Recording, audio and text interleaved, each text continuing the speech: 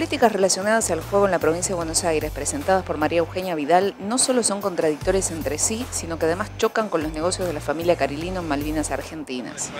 Para ustedes, buen día. Como ustedes saben, el juego es un problema en la provincia desde hace muchos años. Mientras por un lado la gobernadora intentó mostrar una postura muy dura contra el juego con declaraciones públicas en las que manifestó que aumentaría los impuestos y se mostró en contra del juego, tanto legal como ilegal, cerrando incluso casinos que significó la pérdida de trabajo para cientos de familias, por otro lado autorizó las apuestas online a contramano de lo que ella misma había declarado. Pero además, en esta supuesta lucha contra la ludopatía afectó intereses de aliados políticos como el ex intendente de Malvinas, Jesús Carilino.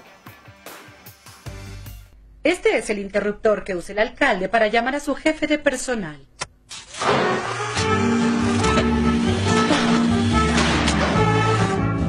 Jesús Cataldo Cariglino tenía una sala VIP.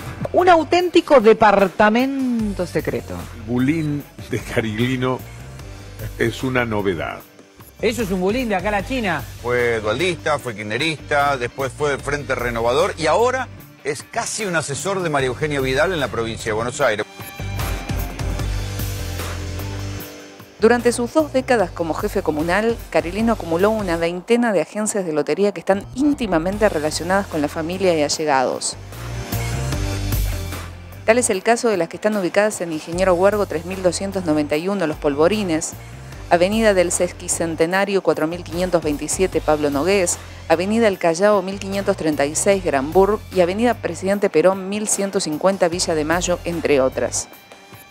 Algunos de los nombres que aparecen ligados al negocio familiar son los de Pablo Vargas, hijastro de Jesús Carilino, Walter Bartuccelli, cuñado, Darío Schneider, su sobrino, Papalardo, la mujer de Schneider, y hasta Carlos Cremonte, que es el jardinero del ex mandatario local.